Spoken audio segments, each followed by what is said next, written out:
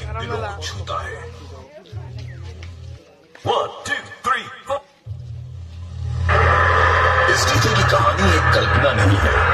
ये मनगढ़ंत संगीत ज़रूर बनाता है लेकिन दिलों को छूता है। इस डीजे के पूर्वजों का लोक कथाओं में भी उल्लेख है।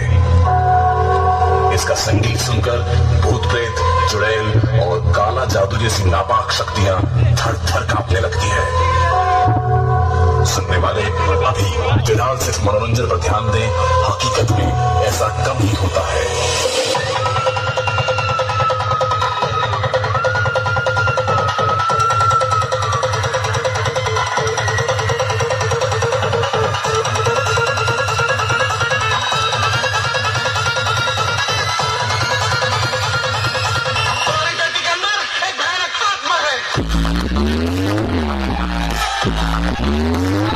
वन